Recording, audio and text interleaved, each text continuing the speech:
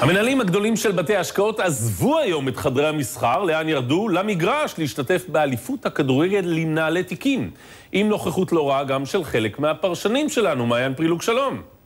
שלום דובי. הדרמה בשכונת התקווה גאתה היום. כן, בהחלט. היום מתקיימת כאן אליפות הכדורגל של בתי ההשקעות. ואתה יודע, שוק ההון הוא כל כך uh, תחרותי, כל היום הם מתחרים על תשואות ועל עובדים ועל לקוחות, אבל היום הם מעבירים את הכל כאן למגרשים, וכל האמוציות עולות כאן. אז מי בית ההשקעות הטוב ביותר, מי המנצח, גם בתשואות, אבל גם ברגליים? בוא תראה, הנה.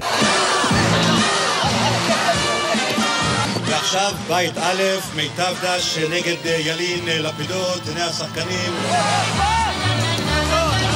עשרה בתי השקעות עזבו היום את המסכים ועברו להתחרות במגרש האמיתי, מגרש הכדורגל. או, נגיחת ראש מצוינת, איזה שער! הם אפילו דאגו לנבחרת מעודדות, אלו שהתנדבו מהמשרד. ליגה שוקי תהיה אירוע פנדלים של מנכ"לי בתי ההשקעות. תראו את מי פגשנו, מתאמן על הדשא. אלדד, אתה לא נראה ככה בדרך כלל. אה, ראית איזה כיף? סוף כל סוף, בגדים טבעיים, מה? כיף, תחרות, כדורגל. ספרו לך פה הבנות שתחשוב על ספורטה לפני שאתה בועט. לא, חס וחלילה, ספורטה הוא אוהב ליבי. דש, ספורטה, נשיקות. ביומיום הם כל היום אה, מתחרים אחד בשני, נפגשים אצל לקוחות. ובסופו של דבר הם אוהבים את הקטע הזה של תחרות, זה מה שדוחף אותם להצליח.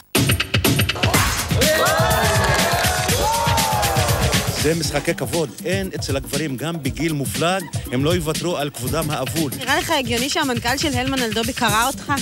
אני מרשה לעצמי שהוא יקרא אותי פה ואני אקרא אותו במקום אחר. מצטיינות של הערב אקסלנס נשואה וגם מיטב דש. אבל היה גם בית השקעות אחד שהצליח לפקשש. מנקנקים את החלשים. הראל, אה, הראל היו פחות טובים, למרות שממש בדקה האחרונה בקורטוב של הבלחה הם הצליחו להשיב את כבודם האבוד. לנו מותר לקוות שלפחות כשזה נוגע לתיק ההשקעות שלנו, הם יתאמצו קצת יותר.